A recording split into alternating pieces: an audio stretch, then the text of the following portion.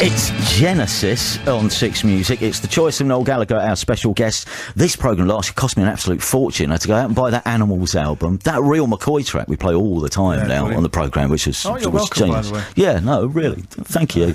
this, though, when I saw the list this year, Genesis, side two, track one from Genesis to Revelation, The Conqueror.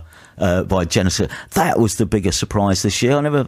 It's just an era of Genesis I didn't know. Well, so I'm on tour, and uh, Chris Sharrock, my drummer, we were talking a little bit hazy in the dressing room. We were talking about something or psychedelic songs that have fallen through the gaps of time. Have you ever heard The Conqueror by Genesis?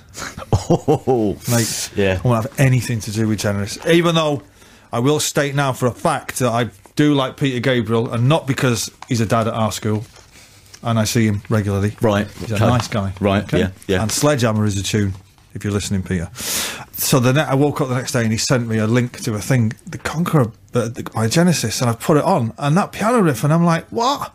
Who's not ripped that off before? That's a disgrace. And on goes the song, and I'm like, now I will tell you, right? The first thing I did was I Googled it, and I was like, if I think who's playing drums on this is playing drums on this, that's it. then that's it, it's over. It's allowed because he's not playing drums on it. he was nowhere near it. So we're allowed to like it, and it's brilliant. and there's at least, I'd say, six great songs on that first Genesis record, which It's I'd never even that. heard of. Yeah. It is a terrific. I mean, that track. I mean, I haven't listened to the rest of it. I will do now. There's a track uh, called Silent Sun, which, honest to God, if you're listening, Peter Gabriel, the lawyers are going to have to get involved pretty soon because I am going to rob that endlessly until I can't make music anymore. I think I, I was scarred by Can't Hurry Love when I was a kid, Right. uh, clearly. But um, so wh- when I'd done my last gig at Brixton Academy, Johnny Marr got up to play with us. And we were in the dressing room before, and I said to him, "Why'd you stand on G- Genesis?" And he was like, "I'm not Genesis." And I was like, "What? Have you ever a track called The Conqueror?" No.